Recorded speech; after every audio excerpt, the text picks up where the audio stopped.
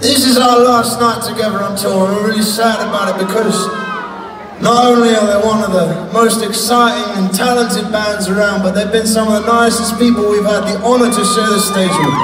So would you please give it up once again, ladies and gents, for the wonderful Portugal Man.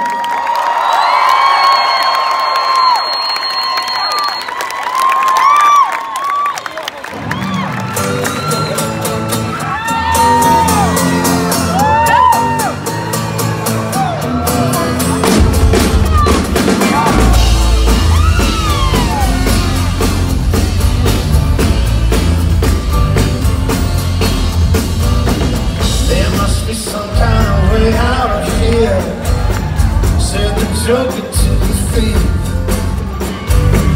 There's too much confusion I can't get no relief